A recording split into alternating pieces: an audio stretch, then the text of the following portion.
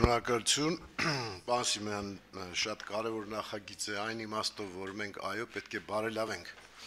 այս մեր երթևեկության ընթացքը եւ մեր քաղաքացիներին ավելի որակյալ ծառայություն մատուցենք։ Դուք ճիշտ նշեցիք, բայց մի կարևոր փաստ եւս ավելացնեմ, որ արտերկրում գիտեք, ասենք, երբ որ նայում ես կանգառում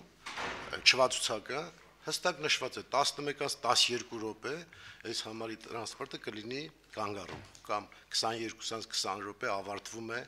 երթուղին եւ այլն։ Մենք շատ հեռու ենք դեռ դրանից, կարծում եմ քայլերից մեկն է, որ արդեն ուղևորագրվում է, դա կարևոր բան է այս փաստաթղթի գոյությունը, որ ավելի կհստակեցնի, որ պետք է այս ժամին դուրս գա, այս ժամին հասնի այսիշ տեղ, բայց շատ ճիշտ կլինի, որ անպայման քաղաքացիները կարողանան հետևել այդ ընթացքին, այդ դոստոպը պարտադիր պետք է տրվի, այլապես իմաստ չունի, եթե քաղաքացին պետք է նայի, թե այս ժամին կլինի տեղում, թե չէ տվյալ տրանսպորտային միջոցը։ Եվ այս իմաստով արդյոք չեք կարծում, որ այս ավտոկայարանային եւ երթակարգավորական ծառայություններ մատուցող ընկերությունների յետևում կան որոշակի ստվերային գործիչներ, Այսինքն տարիներ շարունակ, որ մենք անընդհատ բողոքում ենք, որ պետք է վերջացնել այս ստվերային կառավարումը, կարծես թե չեն կարողանում վերջնական արդյունքի հասնել։ Արդյոք սա չի խանգարող հանգամանքը, որ մարդիկ ովքեր տարիներ շարունակ մեծ եկամուտներ են ստանում այս ուղևորափոխադրումներից, այսօր էլ թաքնված են այդ նույն գործողությունը անում եւ պատասխան է տալիս ձևական ինչ որ գործադիր տնորեն, այնինչ իրական տերը այդ գումարները այսպես ասած, շորթում է մեր պետությունից նաև հարկերի տեսքով, ինչպես նաև ձեր ասած կայարաններին չվճարելով։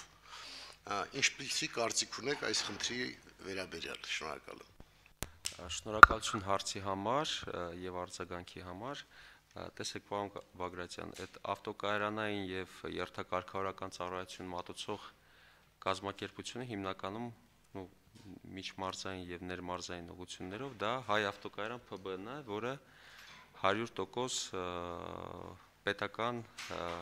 մասնաբաժին ունեցող կազմակերպություն է եւ չեմ կարծում, որ ավտոկայարան ՓԲ-ի հետևում պետական հիմնարկի հետևում ստվերային գործիչներ կան, ինչը վերաբերվում է օրինակ քաղաքի դեպքում, հա, եթե համայնքային տրանսպորտը վերցնենք, ապա շատ դեպքերում նաև երթակարգավորական ծառայություններ կամ երթակարգավարներ հենց գործի են ընդունվում հենց այդ ուղևորափոխադրող կազմակերպությունների կողմից, այլին այսինքն իրանք իրանց են այդ ծառայությունը մատուցում, կա այդպիսի բան։ Ամեն դեպքում մենք պետքա հստակ ֆիքսենք ամեն մեկի գործառույթը ով ինչ անում, եւ դա իրականացնելու համար դա միայն մեխանիզմով կարելի է իրականացնել եւ այդ մեխանիզմը պետքա բալանսավորված լինի կարծում ենք այս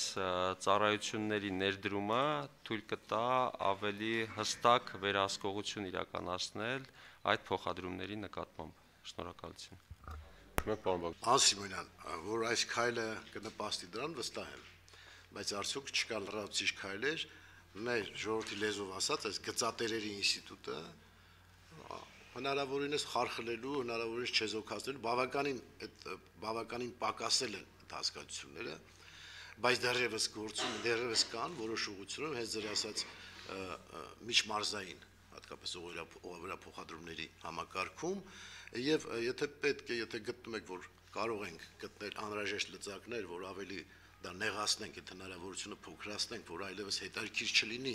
նման մարդկանց ներկայությունը այս համակարգում, որը հաստատ կբ ավելի կբարելավի ուղղափոխադրումները,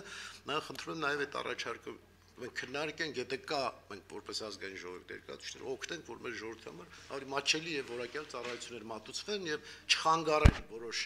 ուժեր կամ որոշ կլաններ նման գործընթացներին։ Շնորհակալ եմ։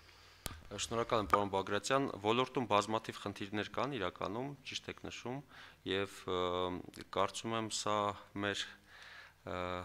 վերջին բարեփոխումը չէ այս ոլորտում եւ դեռ բազմաթիվ քննարկումներ կանենք հաճույքով ազգային ժողովի պատգամավորների հետ այս թեմայով կառաջարկեմ մի օր միգուցե մի քննարկում կազմակերպել եւ ես ներկայացնեմ բոլոր խնդիրները ոլորտի կարող է ինչ որ վստահ եմ նոր լուծումներ ի հայտ կգան այս ուղությամբ Մնացածի մասով համաձայն եմ, ինչը կապված է այդ ձեր ասած գծատեր, այսօր բոլոր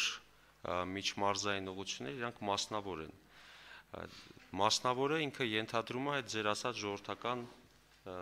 գծատեր լինելու, չլինելու հանգամանքը։ Համար այս մասով ես խնդիր չեմ տեսնում, որպեսզի կազմակերպությունները լավ ծառայություններ մատուցեն մասնավոր եւ ստանան եկամուտ եւ հարկերի տեսքով այդ եկամուտներից գնան պետական բյուջե։ Մենք մեր կողմից դա միայն ողջունվում է եւ այս ոլորտը կանոնակարգելու առումով շեշտեմ, որ մենք հիմա գնում ենք խոշորացման այդ գծերի, այսպես կոչված երթուղիների եւ արդից օգտվելով ասեմ, որ 3 մարզի մրցույթ ենք անցկացրել, դա Արմավիրի, Կոտայքի եւ Արարատի մարզի մրցույթներն են։ Բոլոր տեղերում ունենք հաղթող կազմակերպություններ եւ երկու մարզում չնայած ունենք դատական process-ներ, բարձ է, որովհետեւ բազմաթիվ փոխադրողներ կան, իրանք իրանք շահերը փորձում են պաշտպանել նույնպես, բայց նշեմ, որ մոտակա 6 ամսվա ընթացքում սպասում ենք, որ մոտ 200 նոր տրանսպորտային միջոցներ կհամալրվեն, 200-ից ավել ներողություն, խնդրում մենակ 150 հատ Կոտայքի մարզում են այսքանը երևի թե ինչը թույլ կտա նույնպես բարելավել ծառայությունները որովհետև բոլոր տրանսպորտային միջոցները ըստ կառավարության կարգի նոր են այսինքն 22 թվականի արտադրության են լինելու